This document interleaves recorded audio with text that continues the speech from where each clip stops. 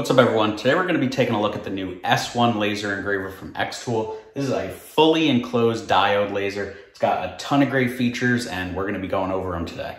If you guys aren't familiar with Xtool, they're at the forefront of the laser engraver game. I've got an F1 over there, a P2, which is their CO2 laser, and now I've got the S1 here. Uh, for a long time, the D1 was considered one of the best lasers. It's been one of my favorite ones, especially the new D1 Pro and you were able to get that in 40 watt, which was a huge upgrade. So these are available in 40 watt, like I have here. You can also get it in 20 watts if you want to save a little money on it, or you can get a two watt infrared laser, which is good for doing like metal and stuff like that. A big complaint that people had about open lasers like that over there or like the D1 is that if you have kids around or really any other people around, they all have to be wearing glasses while you're running it. So their solution was to completely enclose this one. This is your safety glasses here essentially. So you no longer need these when you're using it. So you'll be able to look right at it. It's not gonna hurt your eyes. It also contains the fumes. And then you can see in the back here, it has a exhaust port, which you can hook up to a window or something and pump all those toxic fumes outside. So what you're looking at here is the S1 on top. I've got their riser base on the bottom. This will allow you to pass objects through that are too long. Uh, you can also work on thicker material, or you can use one of these rotary attachments if you want to do tumblers and stuff like that. And as far as the base S1 goes, there's virtually no assembly required to it. You have to attach your laser head onto here, which there's just two screws. There's a couple screws that you'll remove to be able to slide this around. Um, it's, like I said, it basically comes as you see it here, so I'm not even gonna go through an unboxing on it. Now, with the riser base, there are four screws that you have to put in each corner, and then there's a little bit of tape that you add here to help seal that up. But again, there's virtually nothing to it. And as with their previous machines, their instruction manuals are just amazing. It's all full color photos. They break everything down step by step and explain it to you and show you exactly what you're doing so you can't mess anything up. They even walk you through getting started with programming and actually running your machine. And as far as the programs go, you can either use Lightburn, which is something that I use on a lot of my lasers, uh, or you can use Xtool Creative Space, which is their own program, and they've really been working hard to dial this thing in and it will let you use a lot of the special features that this machine has that you probably wouldn't be able to use with Lightburn. I'm also using the optional honeycomb grid on this. I really like this. It comes with these low profile magnets. So a lot of the time, if you used regular magnets, it would actually interfere with your laser. Now you don't have to worry about that. Another optional accessory I have here is this air pump. This works with your air assist. There's two different versions of these. This is the better one. It's got a bit more control to it. And as you can see on the back here, this stuff is all fully integrated to the laser. You're not gonna have to worry about running the wiring or anything. It's already pre-run for you and there's an air hose and everything that you just hook right up to the laser. So it's super easy. All right, now you can connect to this via Wi-Fi or USB. If you do wanna use the Wi-Fi, you'll first have to connect via USB and then you can configure everything in there. And I have mine connected via Wi-Fi since it's all the way across my office here. And you can see here that I'm able to jog it around and do everything that I would just as if it was connected. All right, this is my first time running the machine. I haven't actually looked at any of the instructions, but I kind of have a pretty good idea of what I need to do. So I'm just going to move this over here. And the first thing we need to do is actually measure the height here to see how thick this material is. And I'm gonna do that by clicking on this little thing here that says distance. And you can see it drops that probe down and it'll touch off on whatever our material is. Then it moves over to this piece in the corner and it's just getting a height comparison. So now it should know, yep, there we are. That's our distance to that piece of material. Now we can go to this here and we need to actually figure out where the material is for the X and Y. So I'll click start marking, and we get some instructions here. And what I need to do is go to the top left corner with our crosshairs here. And when I'm happy with that, I'll press this button here. And if we look here, I've got the measurement. Now I'm just going to move it to this corner.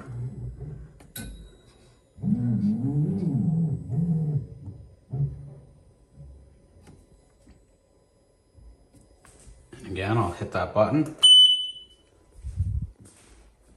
And there we are. We have both positions. So if I click done, you can see here it's laid out where that piece of material is. Now I'm just gonna bring in some clip art and you can drag this over, put it down in this corner here, make it a little bigger. Now I want to engrave this and let's see, actually I need to be on this screen here and I need to define my material. So this is the three millimeter basswood. Now I can click on the drawing, again, go to engrave. So that made it solid. So if I was on score, it's just gonna outline it.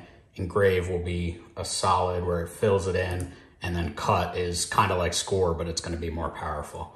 So let's engrave this one and it's set our power automatically. And let's just go ahead and frame it. And I'm gonna come to the machine, press this button, and it'll show right where that's gonna be.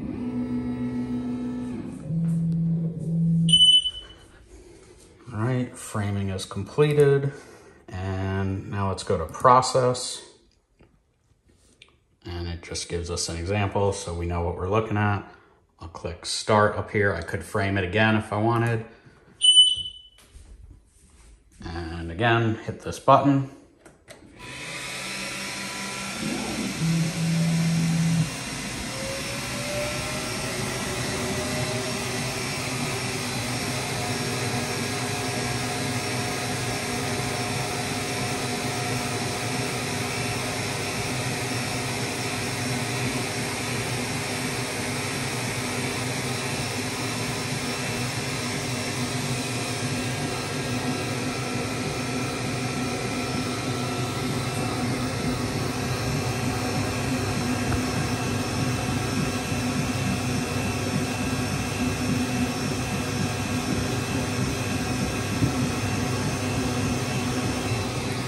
Just want to point out here while this is running, this came on automatically because I've got it set to auto.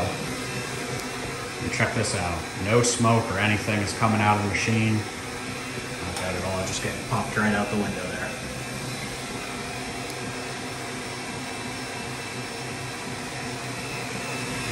I don't even smell anything. I don't smell any burning wood or anything. And of course, we could have adjusted those settings on here, got this to run a little faster. But again, I just wanted to show you guys, it's just super easy to use if you just use the factory settings. You don't even need to think about anything.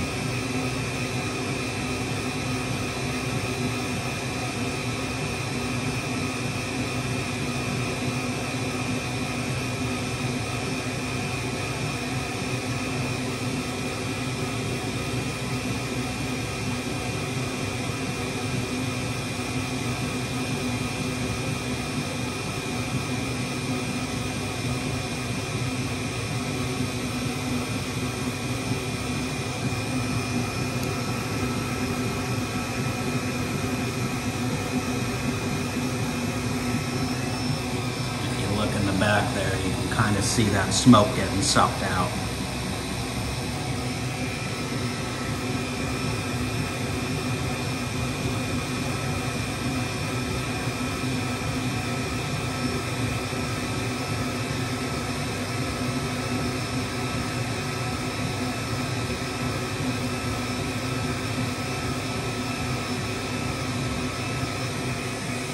Also, check out how quiet this is. This isn't much louder than like a an inkjet printer or something.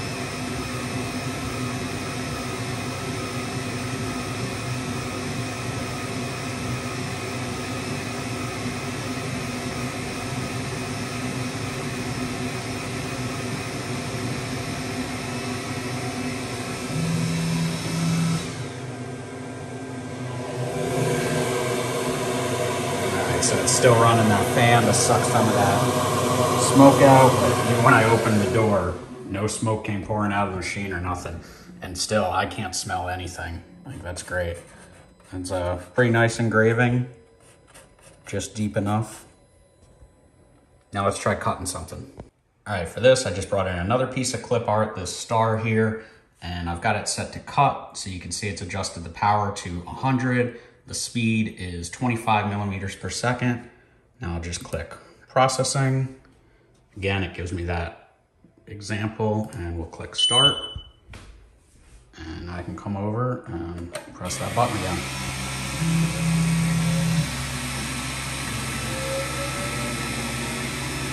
This is definitely making a lot more smoke. But still, it's pumping it all right out the back. And that was pretty fast. So let's see if that cut through. Just gonna let it get the rest of that smoke out of there.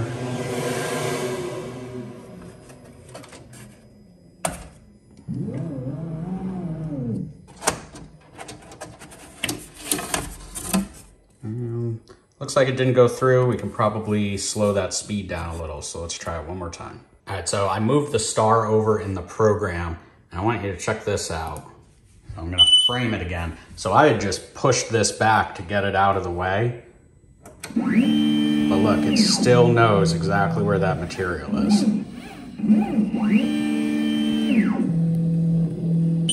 All right, let's try running this again. I lowered the speed down to 10 millimeters per second process, start, click the button.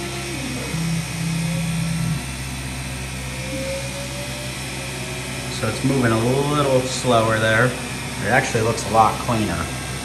Again, it's making a ton of smoke, but it's pumping it all right out the window.